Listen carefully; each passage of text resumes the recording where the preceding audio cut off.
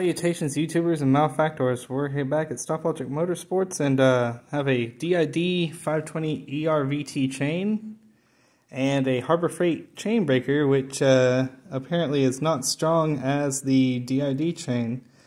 This has been used twice so it looks like I'm going to be heading up there for a uh, RMA. Have a good one folks.